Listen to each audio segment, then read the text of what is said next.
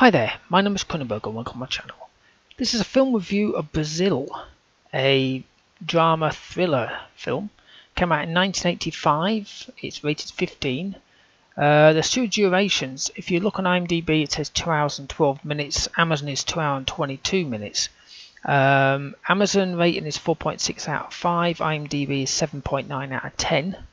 So I'm going to read the Amazon synopsis. Um, regarded as a cautionary tale equal to the works of Orwell and Huxley, this is a nightmare vision of a dystopian future where technology reigns supreme and love is forbidden. A daydreaming bureaucrat becomes a tragic victim of his own romantic illusions. The director is Terry Gilliam, Gilliam, G-I-L-L-I-A-M, who directed Monty Python and the Holy Grail. Producer was Arnon, A-R-A-R-N-O-N, Milchan, M-I-L-C-H-A-N, who produced 12 Years a Slave. Music was by Michael Kamen, who did the music for Open Range. The cast, well, there's, there's a lot of well-known actors, so I've just picked the big ones that stood out for me. So we have Jonathan Price, Pryce, P-R-Y-C-E, who is Sam Lowry, who was in The Wife. Kim Greist, G-R-E-I-S-T, who was Jill Layton, who was in Manhunter.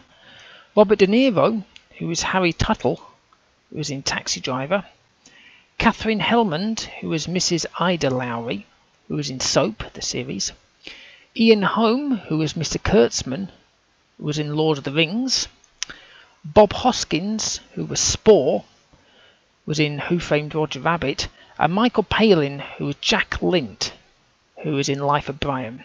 Locations, well, there's a load of them, so I just kind of dwindled them down. We have Mentmore Towers in Mentmore, Buckinghamshire, in England. Croydon, Cumbria, and London, in England. Uh, Debenham House in Addison Road, Holland Park, in London. Uh, Lee International Studios in Wembley, uh, Addison Road, Holland Park in London, and Marne-la-Vallée, Saint-Emilion in France. Uh, it's also known as 1984 and a half. Apparently that was the working title. Thank God they never kept that one. Uh, and I think the Brazil is because there's a song in there. Um, why? I mean, it's confusing because why would it be called Brazil? Um, so this was a request from somebody to watch. One of my subscribers suggested I watch this, and I've watched 1985, uh, 1984, and I thought, well, let's have a go. Let's, let's see what it's like, because you know I, I, I, like to watch all sorts. It starts with a TV advert um, about ducts, D-U-C-T-S. You know the ducts in your in your buildings and stuff like that, and then the TV shop blew up.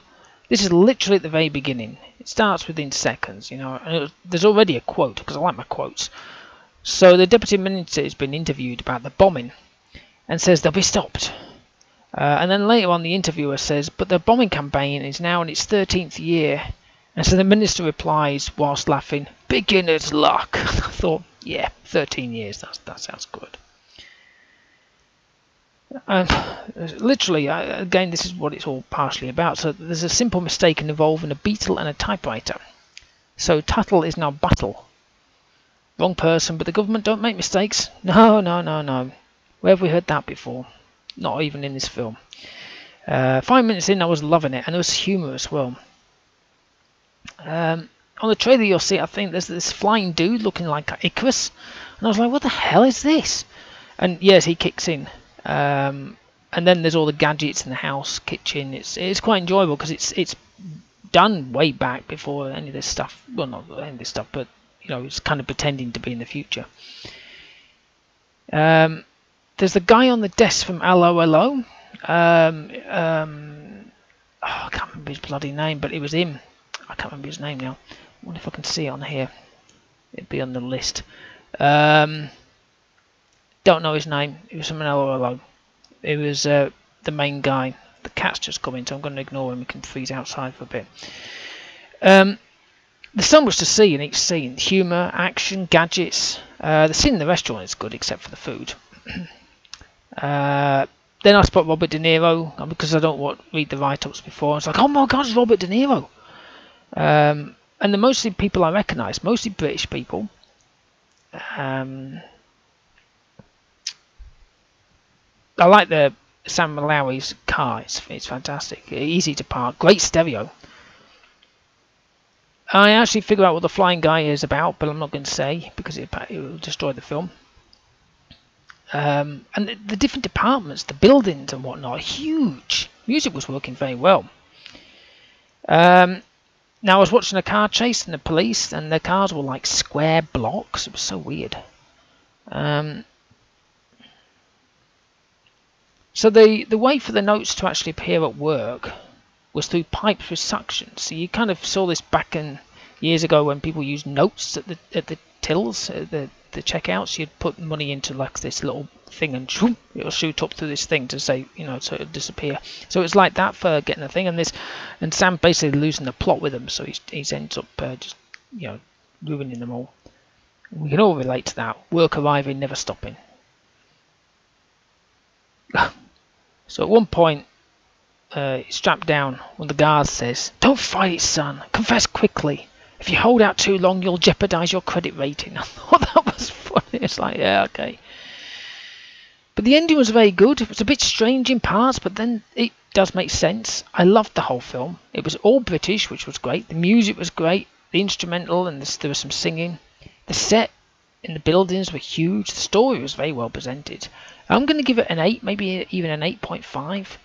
Uh, it was a longish film, like I said, about two and a half hours when you fully watch it. I had to watch it in two parts because uh, at the time I started it, but very good film. Highly recommend it. It's one that's gone to the radar, but it's got such a high rating. Uh, there's a scene in the video clip you'll see it where they all the um, the people are walking around in the uh, in the in the in the factory, as it were.